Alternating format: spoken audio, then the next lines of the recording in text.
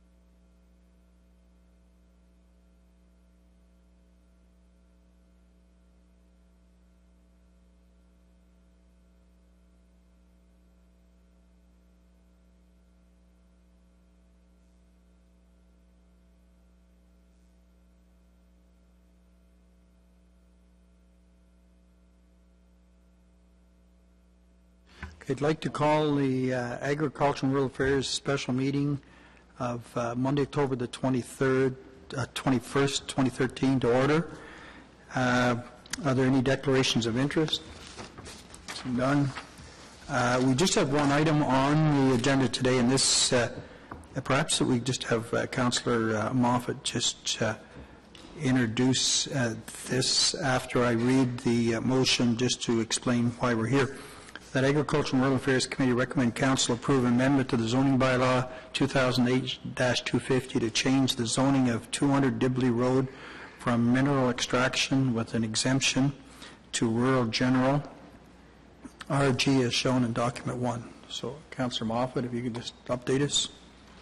Thanks. This is, a- this is an item that, uh, you know, my office, I know uh, Rural Affairs and Planning have been working on this for, uh, for a couple of years. Um, It's, it's essentially just a, you know, a reclamation of an old, of an old quarry site, so it's a good news story for, uh, in the rural area.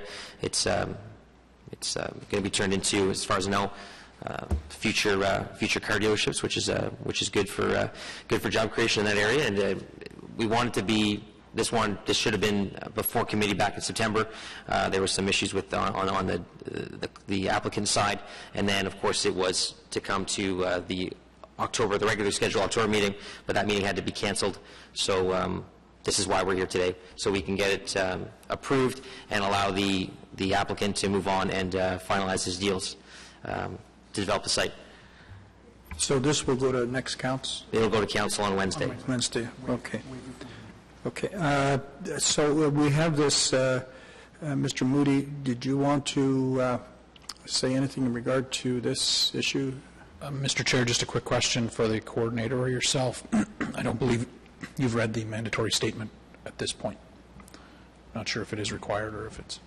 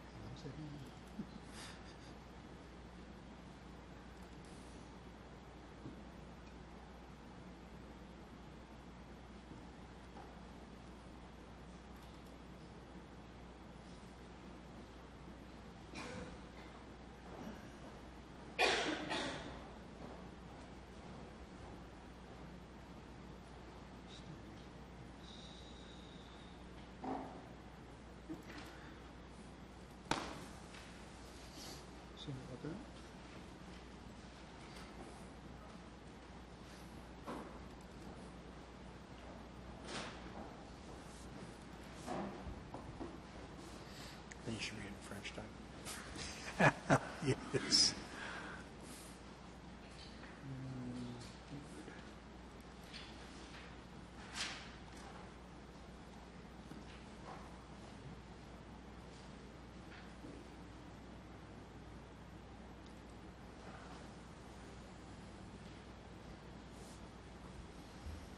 Statement.